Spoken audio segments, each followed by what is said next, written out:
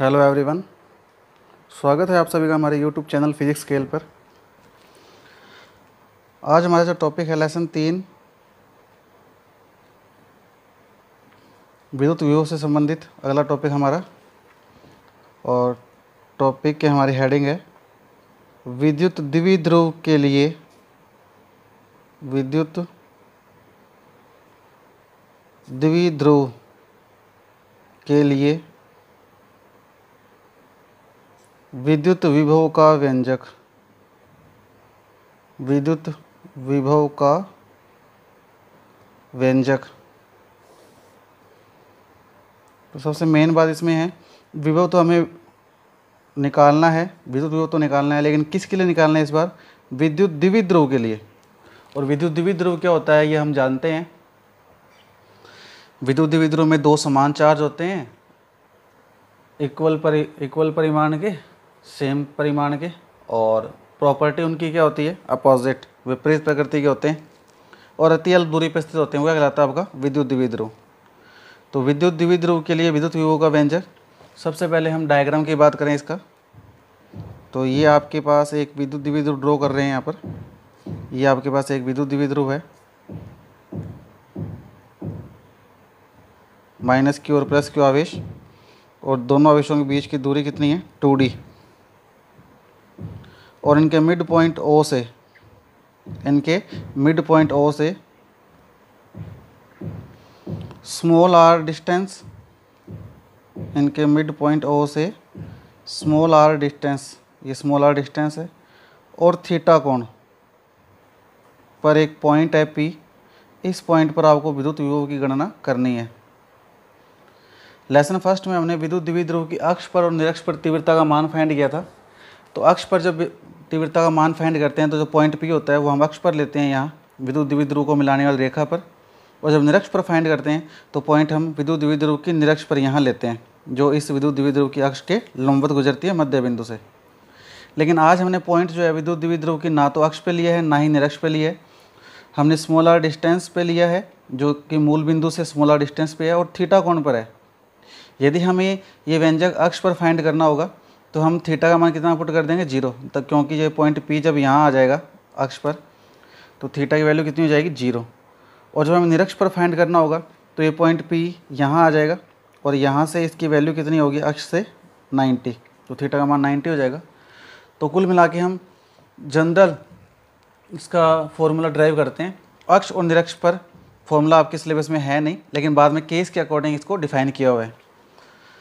तो एक विद्युत द्विध्रुव है जिनके आवेशों के बीच की दूरी टू है और मूल बिंदु से स्मॉल आर दूरी पर थीटा कोण पर एक बिंदु पी है, जहाँ हमें विद्युत विभव का मान ज्ञात करना है।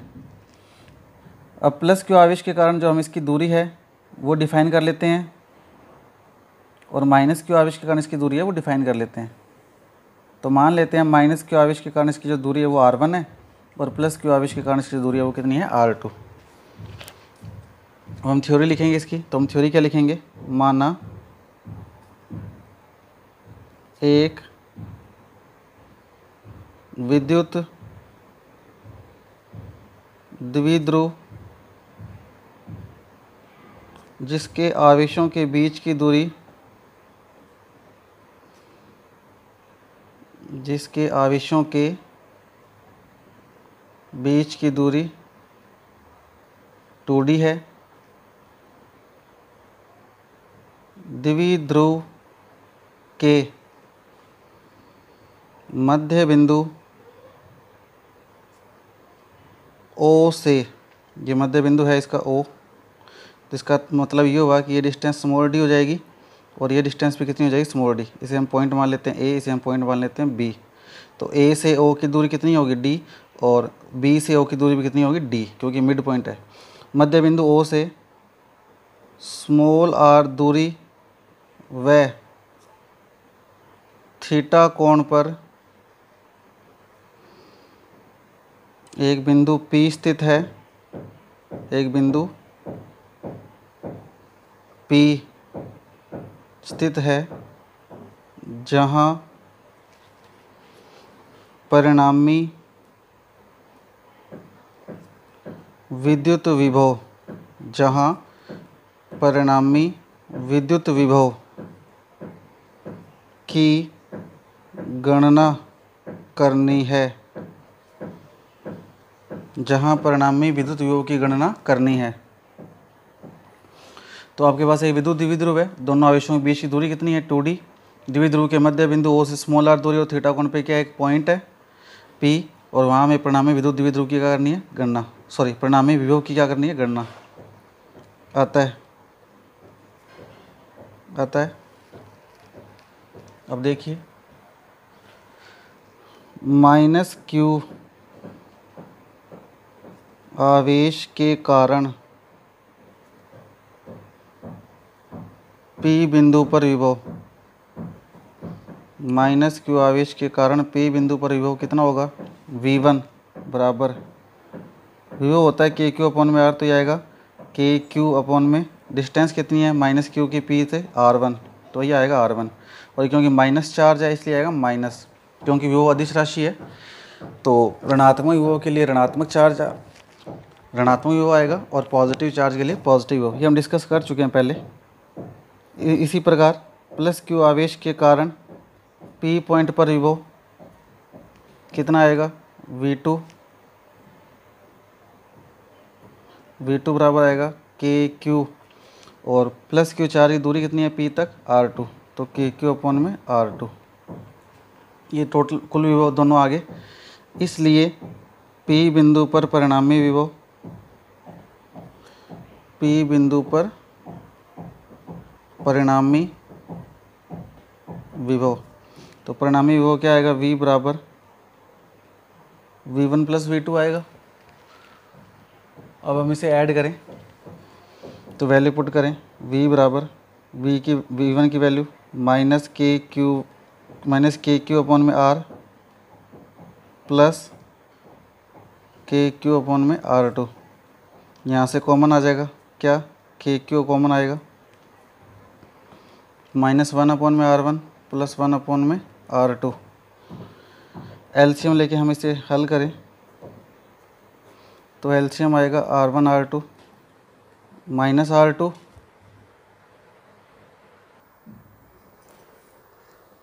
तो यहाँ एलसीएम आएगा आर वन अपॉन में आर टू और उसको सोल्व करने के बाद माइनस आर टू और यहाँ आएगा प्लस आर वन अब इसको हम सॉल्व करें।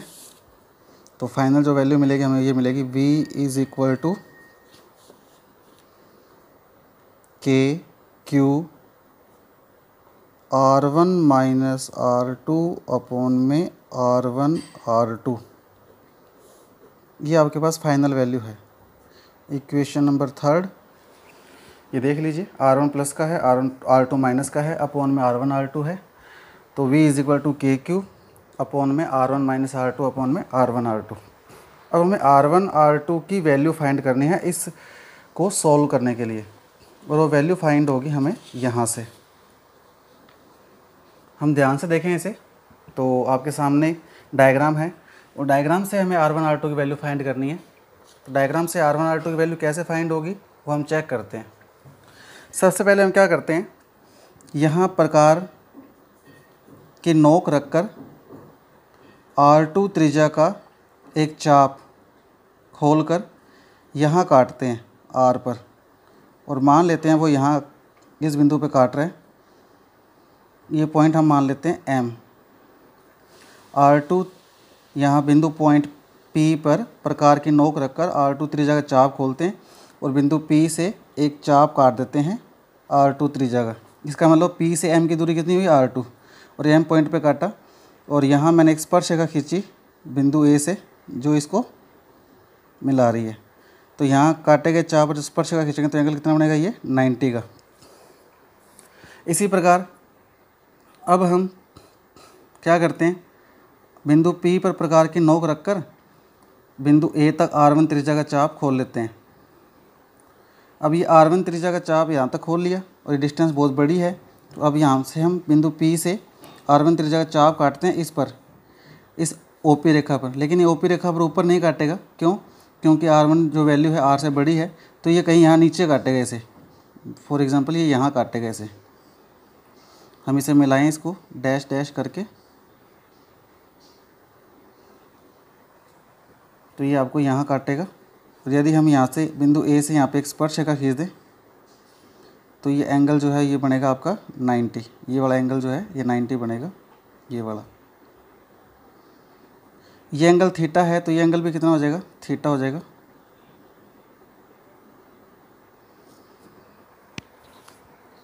तो उम्मीद करता हूँ आपको डायग्राम समझ आ चुका होगा। डायग्राम के अंदर क्या है? सबसे पहले हमने बिंदु पी पर प्रकार की नोक रखी आर टू त्रिज्या का चाप खोला और ओपी रेखा भी काटा। जब यहाँ से हमने चाप काटा तो ये बिंदु एम पर काटा। फिर एम पर हमने स्पर्श रेखा खींची जो बिंदु बी पर आकर मिलती है तो ये एंगल हो जाएगा नाइन्टी अब हमने बिंदु पी पर प्रकार की नोक रखकर आर वन त्रिज्या का चाप खोला।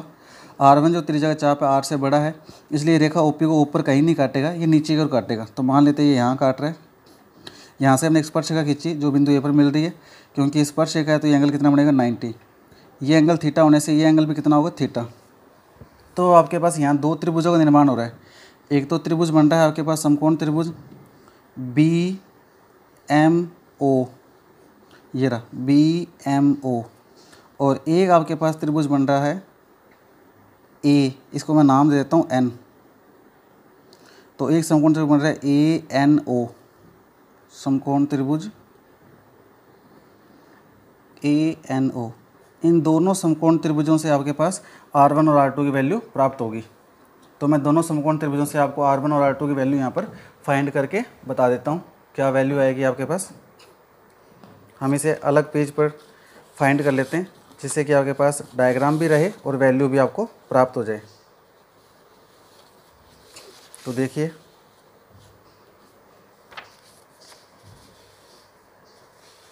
ये आपके पास डायग्राम है और यहाँ से आपको वैल्यू मिल जाएगी। दोनों वैल्यू हम आर वन आर टू की फाइंड कर लेते हैं।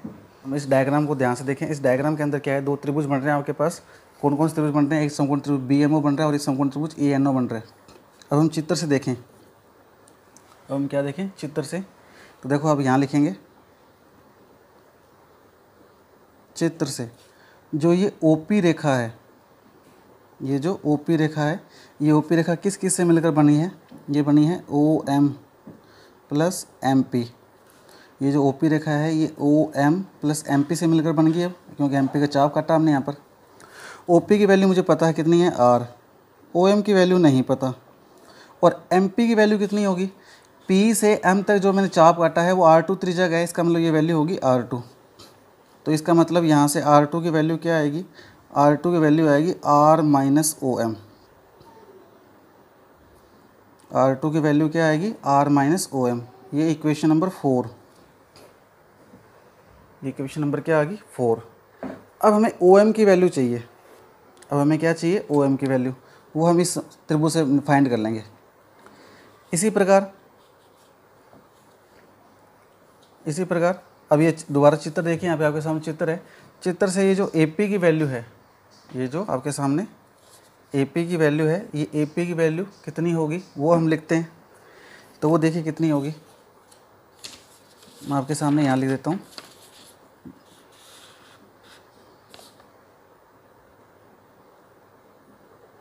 चित्र से पहले मैंने ओ पी की वैल्यू फाइंड की। ओ पी क्या है? ओ पी है आपके सामने। O M plus M P O P की वैल्यू आर है। ओ एम की वैल्यू हमें फाइंड करनी है और एम पी की वैल्यू हमारे पास आर टू है, क्योंकि मैंने यहाँ से यहाँ तक आर टू का चाप खींचा था। आर टू की वैल्यू आ गई मेरे पास R minus O M R minus O M अब मुझे ओ एम की वैल्यू चाहिए। तो समकोण त्रिभुज बी एम ओ से समकोण त्रिभुज बी एम ओ से मैं ओ एम की वैल्यू फाइंड कर लेता हूँ। तो ओ एम ओ एम को मैंने ऊपर रखा और मेरे पास वैल्यू कौन सी पता है मुझे? ओ बी की। थीटा सामने मुझे ये लंब है नाइन्टी वाले मुझे ये करण है तो ओ एम क्या हुआ आधार। तो ये बना आधार बटे करण और आधार बटे करण क्या होता है? कोस थीटा यहाँ से ओ एम की वैल्यू आएगी। ओ बी कोस थीटा तो ओ बी क्या है? ओ बी ये डिस्टेंस है, ये डी है। तो ओ एम की वैल्यू आ गई डी कोस थीटा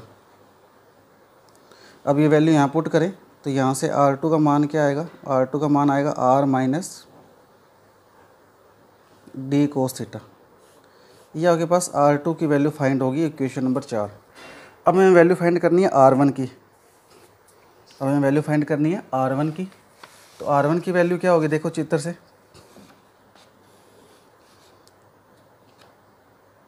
अगेन चित्र से। तो चित्र से वैल्यू देखिए।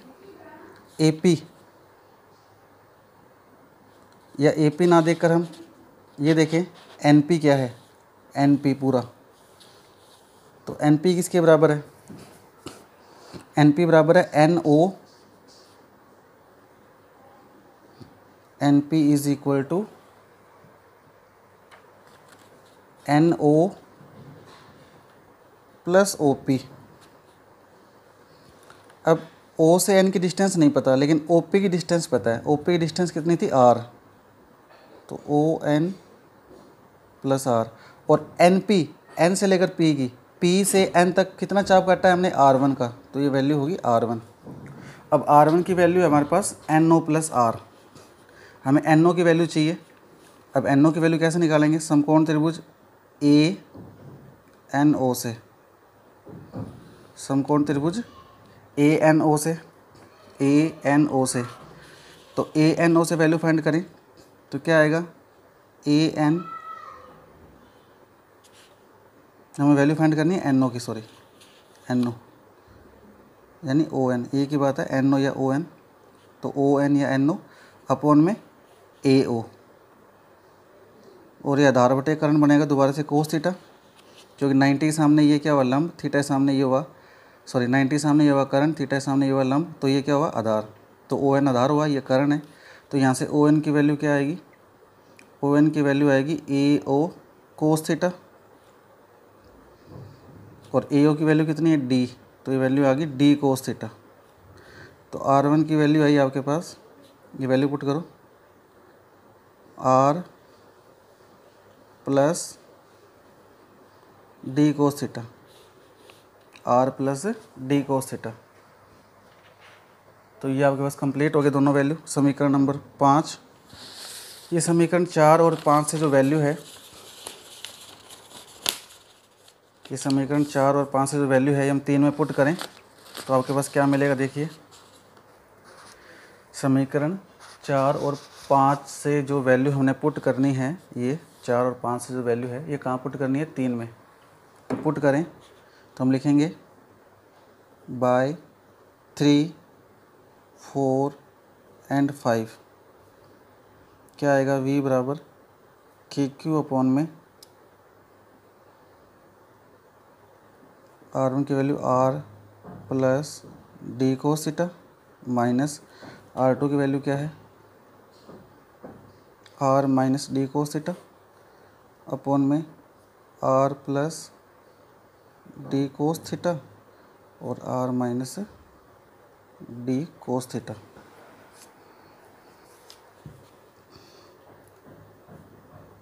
इसे हम सॉल्व करें।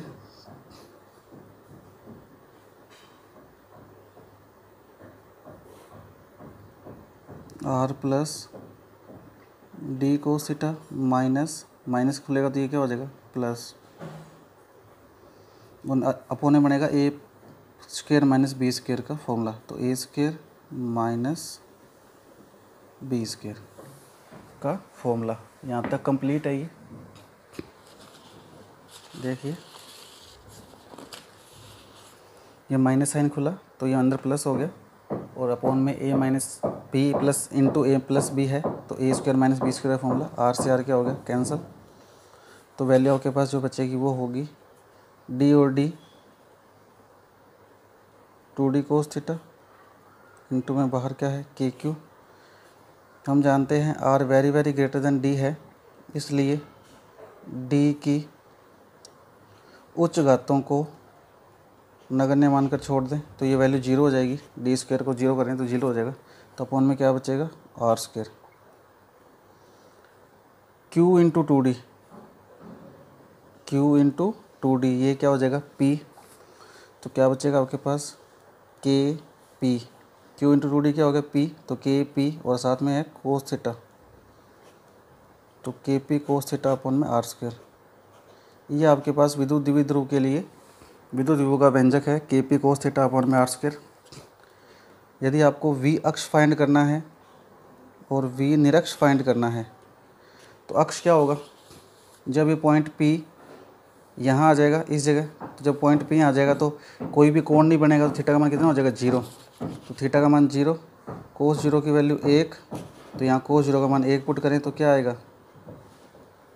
के पी अपॉन में आर स्केयर और निरक्ष पे फाइंड करना है तो निरक्ष क्या होता है? द्विध्रुव की अक्ष के लंबवत मिड पॉइंट जो रेखा गुजरती है, वो जब बिंदु पी यहाँ आ जाएगा तो एंगल कितना बनेगा से? नाइन्टी और कोस नाइन्टी की वैल्यू ज़ीरो तो ये cos ninety zero zero into this zero तो वी निरक्ष कितना आ जाएगा? ज़ीरो तो ये आपके पास विद्युत द्विध्रुव के लिए विद्युत विभव का व्यंजक कंप्लीट हो चुका है। धन्यवाद। मिलते हैं नेक्स्ट वीडियो में।